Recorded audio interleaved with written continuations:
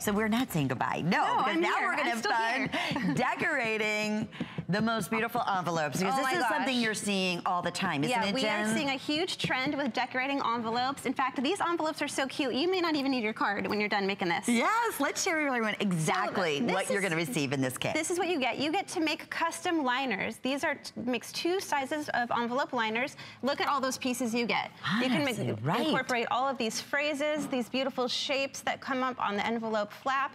So a ton of options for phrases and sentiments with your envelope liners. Okay. This is a beautiful hand-drawn stamp set that can frame your address area. You can interchange the sentiments, decorates your envelope. This is amazing. This is a stamp framelit set.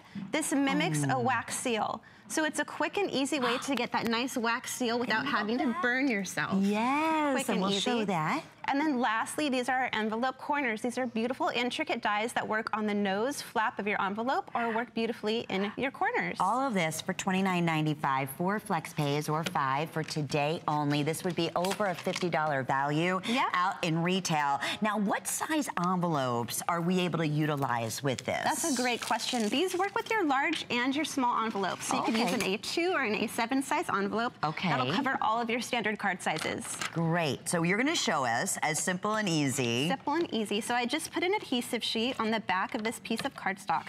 That's gonna turn it into a sticker. Okay. I'm gonna lay this down.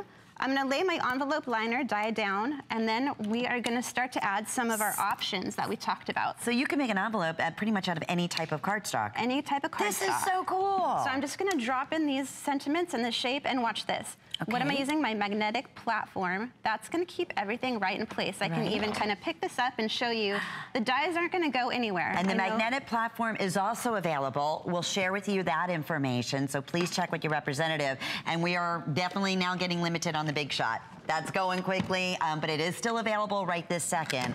And that is gonna be perfect to have for basically the, the Bloom and Blossom Blue and Blossom for... envelope liners. We have Yeah. 3D embossing coming up in a little bit.